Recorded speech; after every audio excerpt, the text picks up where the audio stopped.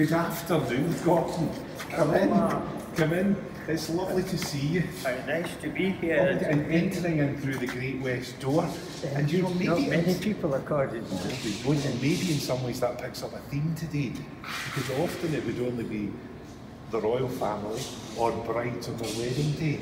So we are neither, but we've got the privilege of coming in. So Gordon, welcome. I'm looking forward to having a look round with you today. Thank you, Mark. I too.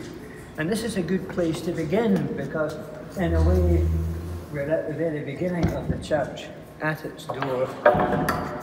And this is where we have this wonderful window of the creation above the door, which hopefully we'll be able to talk a little bit about. And we need to walk back a, a wee bit in order to see it. Well, one, one reason why this is a, a good place to start our way around is because the person who really founded the, the modern see of Glasgow was Bishop Jocelyn in the later part of the 12th century with King William the Lion. And these two were more or less contemporaries with one another. And attention is drawn to that because in the bottom right hand of the rightmost window, you can see a Scottish lion. Yes. And King William the Lion was the first person who really used that instead of the old the old boar of the Pictish Kingdom of Scotland. And what's interesting there is that this window was gifted by the city to Yes. the cathedral. So Yes. again, trying in some way, not unlike the, the murals within the city chambers, to reflect the city's history. Very much so. Very much so.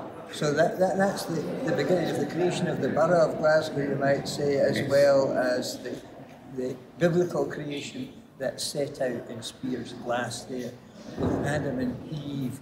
And I understand they had to be retouched a little bit because the regard is too explicit for congregation. Wow, right. So there are still some parts of their anatomy exposed, but others clearly have been adjusted. Have been adjusted, that's yes. right.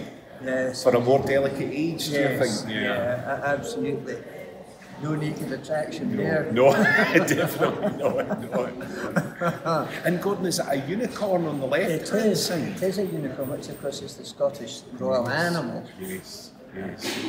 So we're picking up on those two themes on either side with the biblical creation narrative in the centre. Absolutely. And of course, round about the time uh, when the bishop be- became the incumbent here, he also got a grant of, of borough in the form of the barony of Glasgow. And I remember in 1975, uh, celebrated 800 years of Glasgow as a borough, but it was also 800 years uh, since the bishop started work on refounding this cathedral. And his first work burned down, so to begin again towards the end of the 12th century. So it's really, a, it's an early 13th century building we have here, but it began just prior to No, lovely. And you know, you do have that sense in which you've got that ancestry, royal ancestry, and then you kind of sweep round to the north here, and again a biblical allusion to ancestry. Absolutely. Because it's a more modern instrument, and you you'll remember Bill Morris. well. Well, yes. And this this would have been a window in memory of Bill's ministry Yeah. here. Bill came in '67, I think, 1967, yes. Um, and was here for many years. And then upon his retirement, they look towards installing this, and it's the Tree of Jesse, Yes. which during Advent we all remember Indeed. through the ancestry of Yes. Jesus and the household of David. So from one monarch to another, in a sense, represented within the windows. And it, it- it's quite a curious colour tone, but I understand that that is what historic Scotland wanted. I didn't realise To that. have the I didn't know that. and, and, and, and greys. And it's an interesting thing with the blues, isn't it? Because the blues and the reds historically were the most expensive Oh, colours. So there's always that allusion to this richness within Yes. these colours. Um, Yes. Gordon, where will we go next? Well now, um, let's move up, up the nave a little bit and we'll have a look at the Millennium window on the left here because that's our next contact with. So we're really we're moving from the west towards the east, Gordon. But many many people stop just here, looking north. They're looking towards the Royal Infirmary, looking towards Sighthill, Springburn. But in order to look at it, you would have to look through this rather stunning window. So tell me a wee bit about this. Well, th- this was commissioned um, in order to mark the millennium um, by a local artist, uh, John Clark, that you mentioned, and it was unveiled by uh, Her Royal Highness Princess Royal Princess Anne to, to us. So another royal connection. Another royal connection, of which there are quite a, a few in here. Um, John John Clark's interesting in that he also has windows in Cafe Gandolfi. If you fancy a coffee, he's got them in the piping centre, and he did some windows over in the synagogue. But my connection with John was with the installation of windows at St Mary's in Kirkintilloch. The lino print artist Willie Rodger designed the windows in memory of his parents, and he created six days of creation, a Christmas window and an Easter window, and John installed them um, with Willie. But what struck me here was I spoke to John about this window and I said, you know, stunning window, um, but it's really hard to read. Yes. And he said, well, is that not true of the gospel also? And he's right, because it's about scattering the seed and it's about, you know, one of the things that strikes me with this window is when I look at some of the windows, I have a sense that there's maybe more of a, um, a progression or a naivety in some of the works that there are.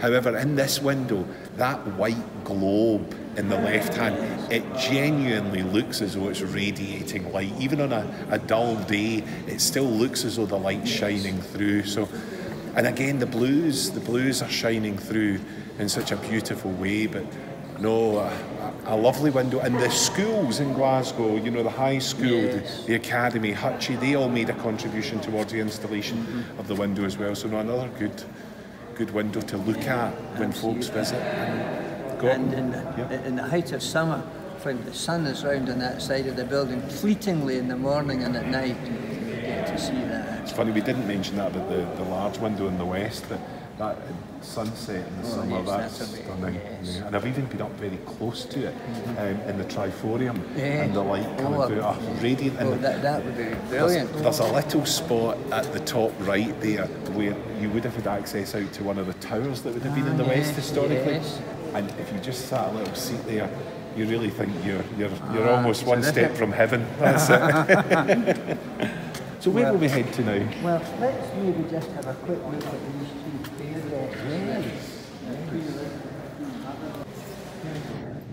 Well, here we have one of the two photographs related to Queen Elizabeth, Queen Mother, uh, to the church, uh, dedicated in, in honour of the, of the Navy, which is the senior service in British military affairs, and to the Air Force, which is the youngest of them. I'm, I'm not sure that Queen Elizabeth entirely appreciated how um, worship is conducted in Protestant churches when she donated these, but they look fine out here. And, uh, And I, I do try to use them, Gordon. I definitely do. Um, and we do have a sort of choral even song Yes. um, in regular times. But I think one of the stories that gets me is this this little ladybird. oh yes. Now, there's an interesting thing. If we if we Yes, come around here, there's actually a little ladybird. Oh, I see it in the in corner, yes. Yeah, now, now that's that goes back to a story. Now I'll not be as good at telling this story as one of our guides would be, but it's got to do with a ladybird landing on a map during a time when there were convoys going across the Atlantic. And one of the folks in the map room was ready to swipe the ladybird off the map, and a colleague said, "Oh, don't do that, with bad luck." So they left the ladybird on the map, and the convoy managed to travel safely and successfully, and therefore they have honoured the ladybird by secreting it away in a prayer desk within Glasgow Cathedral. What a wonderful story, isn't it? It's always good for the children. When the children come, it's always good fun. Yes, I, th- I think that is absolutely fascinating. Now, this this portrait here, or this picture here, Yes. Is it, is it Milan? I think in, in the, I think it's either in the Brera Gallery in Milan or in Milan Cathedral. It's in what? Yes, because we had a family who were visiting from Milan, and they walked in and said, "We know this picture." And I said, "How do you know?" And it was either, as you say, the cathedral or the gallery. Um, but clearly, we have a copy. And again, unusual for a Presbyterian Oh, church to have, yes. you know, these kind of um, pieces of furniture and iconography. But again, I think this clearly is the people's cathedral. Yes. It's not And it's it's- one and denomination it as such. And I, I always meant to ask Bill Morris about it, but I never did. No, I know, I know. So is, it's an intriguing image to have again within a Reformed church. But again, Yes. what we recognise is that most denominations find themselves here at some point for an ecumenical service or whatever. So I hope that this represents the broad sweep of Christian faith in Glasgow um, rather than just one. So. Yes. And it's a very seasonal topic. It's very much so, very much. That's right, exactly. Reflecting the trees. God, where will we go to now? Let's go downstairs. Let's go downstairs.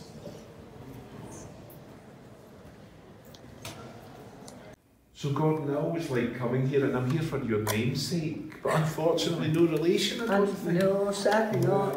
I'd have been very thrilled if George Wyllie had been uh, any kind. I suppose, given it's an unusual enough Yes. name, there will be some distant connection. Well, you can claim it as your own. It's your church, so you can claim it as your own. So the interest is George Wyllie, the artist, so famous for things like the, the straw train to indicate Glasgow's past industrial heritage, where the train was suspended, a full-size train suspended from the Finnieston crane, Well, then set on fire. Stunning, wasn't it? well. I remember the bits of straw floating away. Yes, I do remember yes. And he also has done that Tempus Fugit at the time, passes the legs at Buchanan Street bus station. Oh, He's done those oh, that I didn't realise he had done did that. those with the clock yes. at the top, so he did oh, those. how interesting. But we're very fortunate to have a little bit of Wyllie here. yes. And I do love that ship.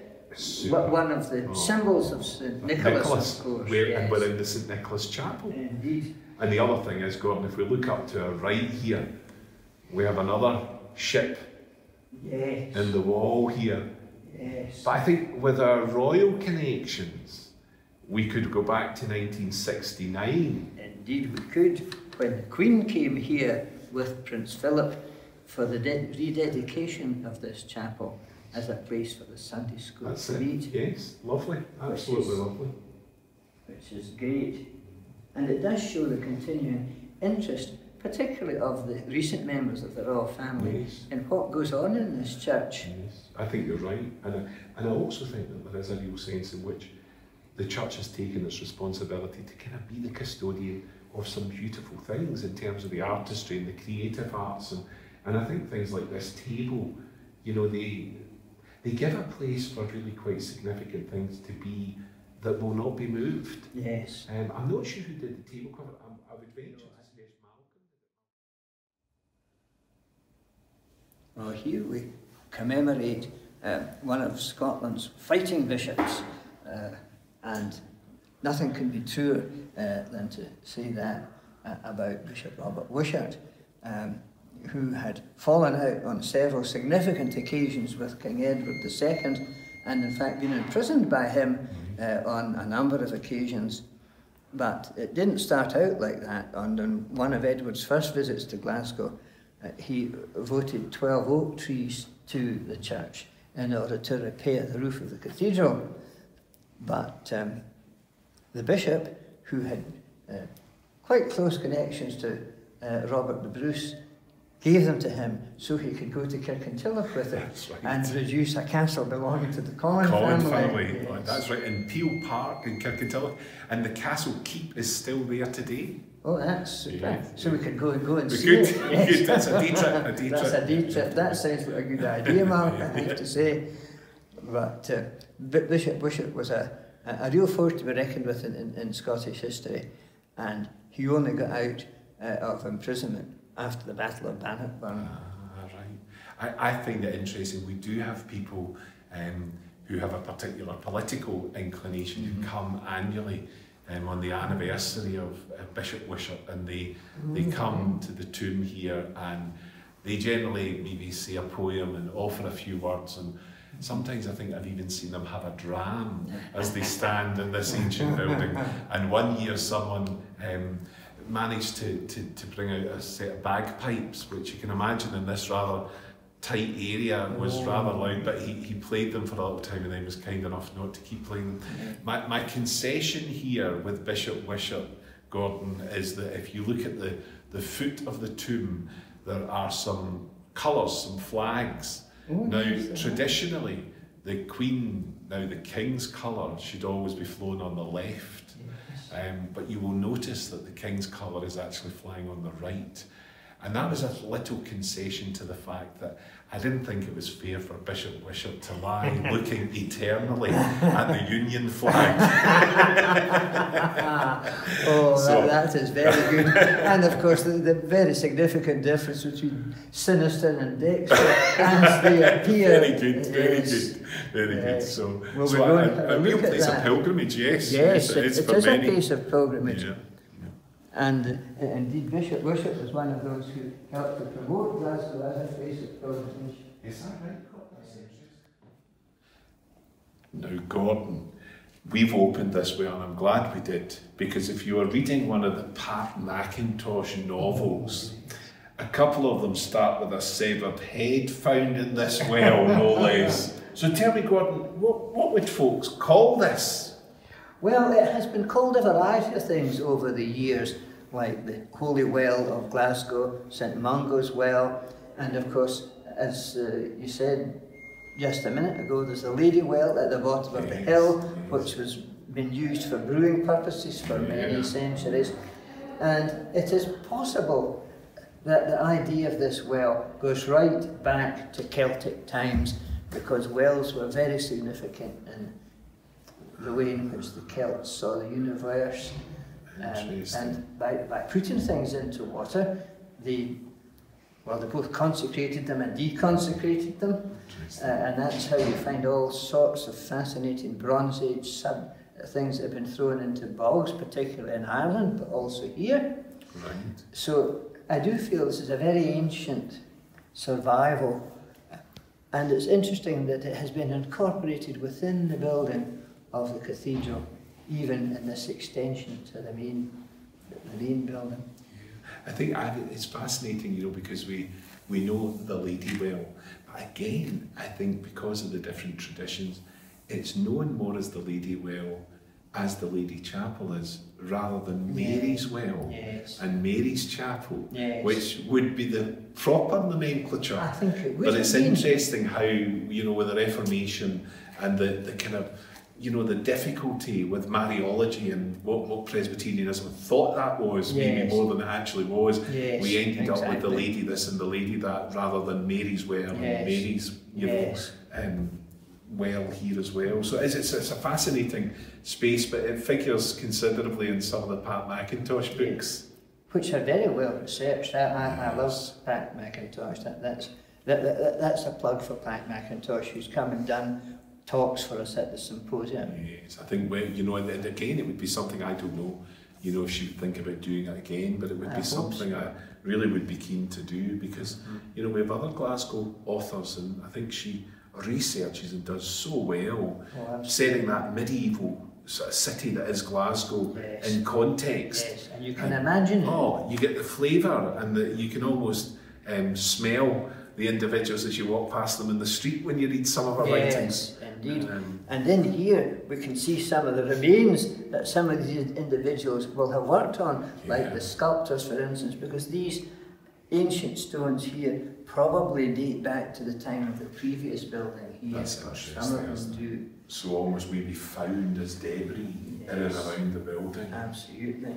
I think the one that strikes me, Gordon, is one that's right behind you at the moment on the top shelf with the bright colours. Oh, yes. Because indeed. that's often, you know, that's often an illusion is that, you know, many of the walls here may have been painted in bright colors mm-hmm. And, you know, you only need to get into the Sistine Chapel and see how they managed to create the effect of like drapes or yes. scenery and windows and uh, coaches and doors through artistry. And I do wonder, you know, did we have any such friezes on the walls within this building? I really don't know. I, I don't know, but I, it wouldn't surprise me at all because some of the little heraldic escutcheons yes. in the, uh, the, vaults You- here. They may have been picked up. Well, do you know, it's funny you say that because I remember um, when I used to come here in the 90s, the early 90s, and we just lived in Dennistoun, and I used to sit on the, it would have been the south aisle, Mm. and I remember looking up at the ceiling, feeling as though it was a work in progress. I thought some of the plaster had come off.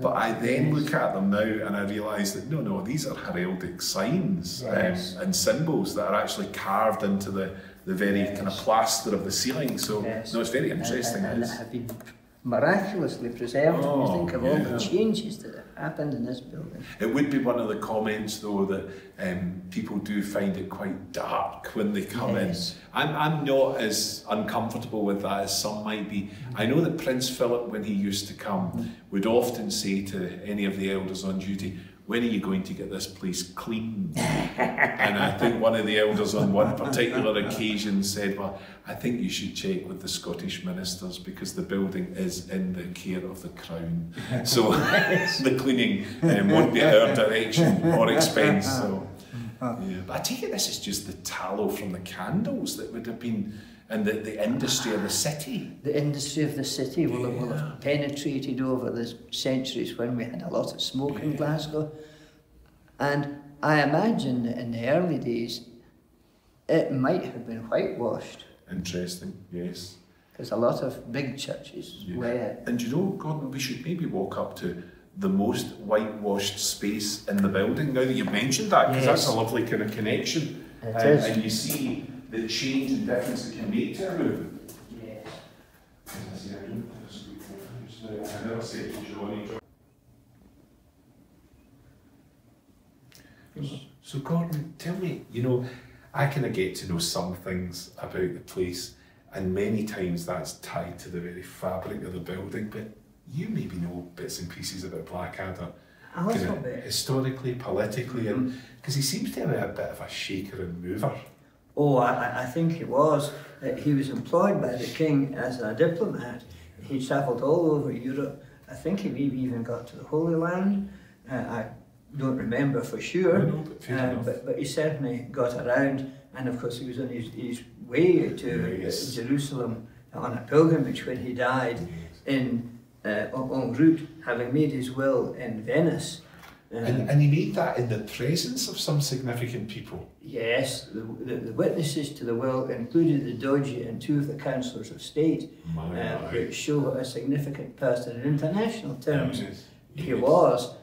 Not least, of course, because he was the man responsible for elevating the See of Glasgow to an archbishopric, Yes, which he managed to do about 10 or 20 years before he died. So is he's the first Archbishop of He Glasgow? is the first archbishop of Glasgow. Yeah, that's quite remarkable, isn't it? It is. And, and I, I think what strikes me as well is that with these these passing the passing of office, often they want to leave their mark on a place, and we call this the Blackadder Aisle Yes. because it's it's you know constructed or under construction during his yes. reign, if you like.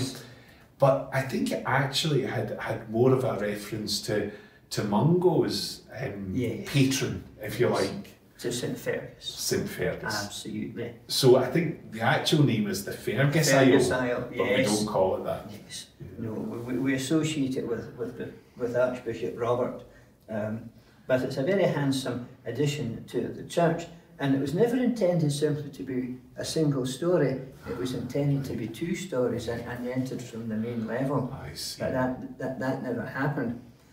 And uh, Archbishop Blackadder had, has a, um he's left a lasting legacy to us because he was responsible in 1503 for marrying King James IV Ah, yes, yes. to Princess Margaret Tudor, the uh, sister of King Henry VIII.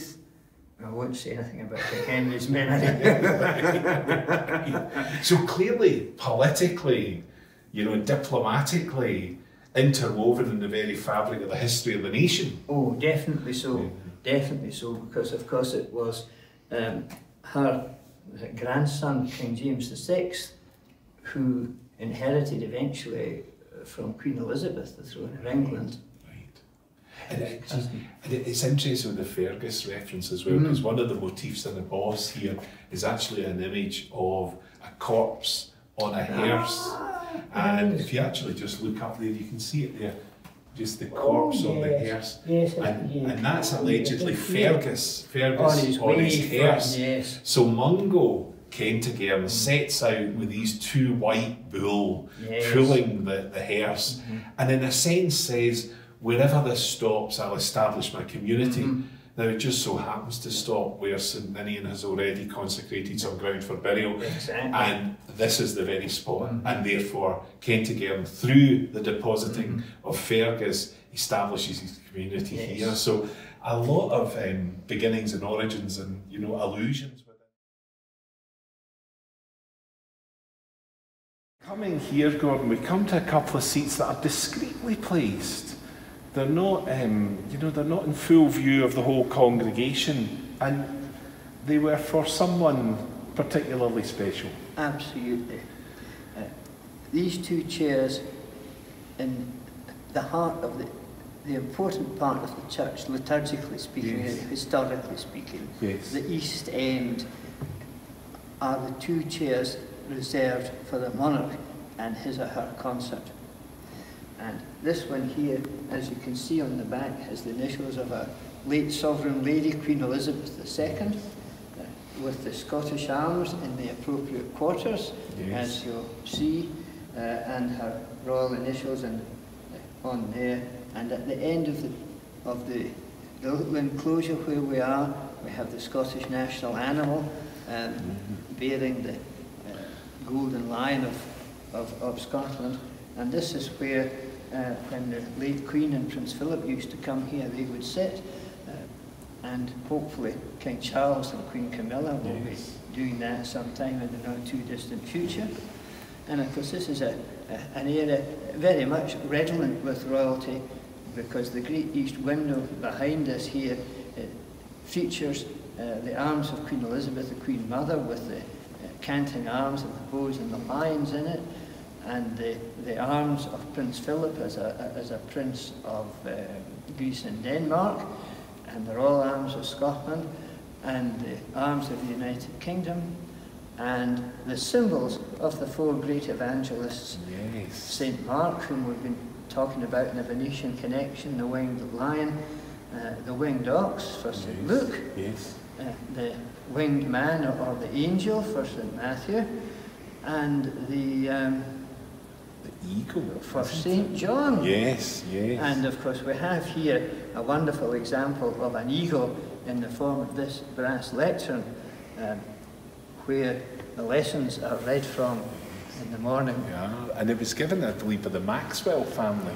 Oh, really? Yes, and you, they've got there's an M motif in the, the chest of the eagle.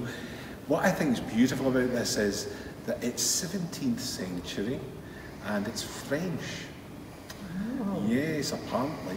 And I think there's two things about it. When we've been doing the live streaming of the services, people have commented on the feathers and on the, the beak, the bill of this particular, because you can see it's so sharp and pronounced. And it really is a lovely piece of furniture. But again, it's the eagle because it ties in with John's lection. Yes. So when John's lection becomes the leading lection in the church, what better motif to let folks know that's what you're reading from than an eagle lectern? But it's a beautiful piece. Isn't it?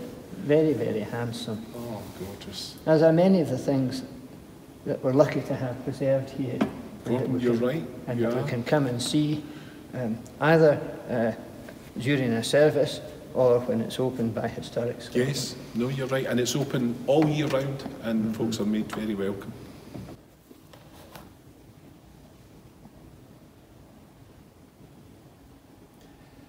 Again, Gordon, I think one of the privileges today was to welcome you at the Great West Door and then through our perambulations to arrive at the east end of the cathedral. And in a sense, that's a journey I make most days. And on a Sunday, at least on a Sunday, I find myself arriving at this pulpit. And that's where I count it really quite a privilege and an honour to be the minister here. Because this very pulpit, it tells us, this pulpit used in this cathedral since 1596. And it tells us here it was restored by an ex-deacon convener of the trades of Glasgow. And it marked the first decade of the ministry of the Reverend Pearson Macadam Muir. It's a privilege to be ministered here. It's lovely to come with folks like yourself who know a lot about the space and the building and have probably seen it as their own home for many years to come back and to be part of that. Mm-hmm. So, Gordon, it's a beautiful place to be. It's been lovely to spend some time with you today. And maybe we, we end where it starts, for in the beginning was the Word. Absolutely. Been a, truly a pleasure as well as a privilege to come, Mark. Thanks, Thank you Gordon. very much for spending time. Thank you, Gordon.